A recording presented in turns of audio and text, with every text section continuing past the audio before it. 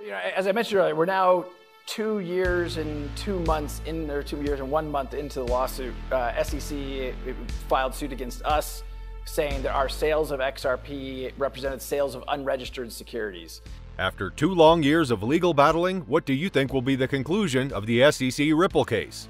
Who do you think will benefit from the ruling? A lot of people are rooting for Ripple's win, so it will be a mass disappointment if they lose, but a mass celebration if they win. With various predictions on when Judge Analisa Torres of the Southern District of New York will release the verdict on one of the most followed cases in the crypto space, legal experts believe that the case ruling is imminent. According to XRP community attorney John E. Deaton, Judge Torres has probably never felt the pressure she's feeling now. Deaton shared, This decision is as big of a decision as this judge has ever faced. Think about what other decision is as big as this decision when it comes to global trade and finance in modern history. This is the most significant no-fraud SEC enforcement action since 1946. The issue is delicate, and Deaton believes that the judge is taking her time with the ruling by carefully analyzing every word. The judge would have to justify to all when the ruling goes in favor of Ripple. Also, she'll be dealing with the conservative court when the case goes against the blockchain company. However, the uncertainty of the impending ruling is not working in Ripple's favor, as regulatory uncertainty has already started to affect the blockchain company's business and its standing with the XRP community. Ripple's newest product, Liquidity Hub LH, lacks support for XRP, causing outrage among part of the XRP community. However, the blockchain company's general counsel Stuart Alderoty explained it was an enterprise institutional product, not retail, and that regulatory clarity was important to enterprise customers. Having said that, Stuart Alderoty, general counsel for Ripple, confirmed that, in the future, there might still be support for the cryptocurrency, stating that we're keen to support XRP in LH when we can provide a good customer experience. Seemingly, the lawyer was hinting at the possibility of introducing XRP after the court decision in the Ripple vs. SEC case brings more clarity into the sector. Still, Ripple is not the only company to receive the SEC's wrath. In fact, the SEC has recently named six crypto assets as securities, including Dash DASH, Algorand ALGO, OMG Network OMG, Monolith TKN, Naga NGC, and IHT Real Estate Protocol IHT in a lawsuit against crypto exchange Bittrex, but not against the issuers, according to the SEC press release from April 17. Specifically, the SEC alleges that these six digital assets listed on the crypto trading platform should be considered securities under U.S. law, because, as the agency claims, investors had reasonable expectations of profits. Commenting on the development, David Schwartz, the CTO at Ripple, said on Twitter that this sounds like investment advice to me Interestingly, the SEC boss Gary Gensler still refuses to provide a clear answer to the repeatedly asked question of whether Ethereum ETH is a security, including during his recent testimony before the U.S. House of Representatives Financial Services Committee, as Finbold reported on April 19th.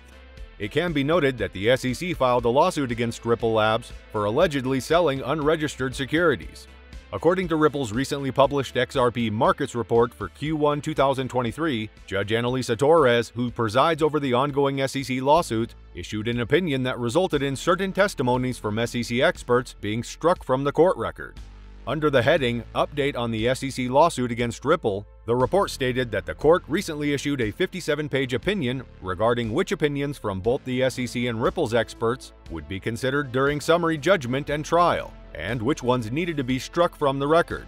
The court struck the SEC's expert testimony on the reasonable expectations of an XRP purchaser, as well as their expert on who attempted to determine the cause of the price changes in XRP. A few weeks back, Stuart Alderoty expressed confidence in their case after the court rejected the SEC's expert testimonies but retained those of Ripple. Alderoty highlighted that the court allowed Ripple's experts to stay in, specifically those who explain how Ripple's contracts differ from those in the Howey case, the tax and accounting treatment of XRP, and the currency experts on XRP. He concluded by stating that Ripple has always felt confident about their case, and with each ruling, their confidence grows stronger. In light of this, cryptocurrency community members, including XRP enthusiasts, are eagerly awaiting Judge Torres' summary judgment on the case. Predictions on when Judge Torres may issue a ruling have been varied widely, Notably, the March 31st prediction made by pro XRP lawyer James K. Filan, who has closely followed the lawsuit, did not come true as many anticipated. On the other hand, crypto law founder attorney John Deaton recently predicted that the summary judgment on Ripple vs. SEC might come on or before May 6, 2023. Ripple CEO was a little more vague with the prediction, speculating that the ruling could be issued within the first half of 2023. In the previously mentioned Ripple's recent Q1 2023 financial report, the company says it now expects the summary judgment decision to arrive before the end of the year. However, it emphasizes that the timing of the summary judgment is ultimately up to the court. Ripple also expressed concerns that the U.S. approach to crypto regulation has continued to focus on regulation by enforcement instead of rulemaking. This can be seen as Coinbase and Paxos received Wells notices from the SEC, alleging various securities law violations and lack of registration. SEC Chair Gensler issued a broad warning to yield-earning crypto platforms to come into compliance after Kraken closed its staking service, prompting Commissioner Peirce to denounce her own agency's actions. During the last quarter, Ripple's total XRP sales, net of purchases, reached $361.06 million compared to 226.31 million in the previous quarter. The company has continued to sell XRP only in connection with on-demand liquidity ODL transactions. To ensure a sufficient supply for its growing ODL business, Ripple has sourced XRP from the open market since 2020, striving to minimize undue market impact with its purchases. Still, Ripple remains optimistic about the much awaited conclusion of their legal battle against the SEC. In fact, Ripple has observed several instances and references point to their victory. Recently, its legal team referred the judge to her colleague in the same circuit, Judge Wiles, issuing a decision on March 11, 2023 to support the company's fair notice defense. It can be recalled that the SEC objected to the decision of Binance.US to acquire Voyager, the reason is that its token, VGX, had an aspect of securities. The SEC also claimed Binance US was an unregistered securities exchange without providing any explanation. SEC's objections were rejected by Judge Wiles, who also approved the bankruptcy plan. According to the letter of supplemental authority, his ruling rationale is in line with many of Ripple's arguments. Ripple cited this from the ruling. Regulators themselves cannot seem to agree as to whether cryptocurrencies are commodities that may be subject to regulation by the CFTC, or whether they are securities that are subject to securities laws, or neither, or even what criteria should be applied in making the decision. An uncertainty that has persisted despite the fact that cryptocurrency exchanges have been around for a number of years.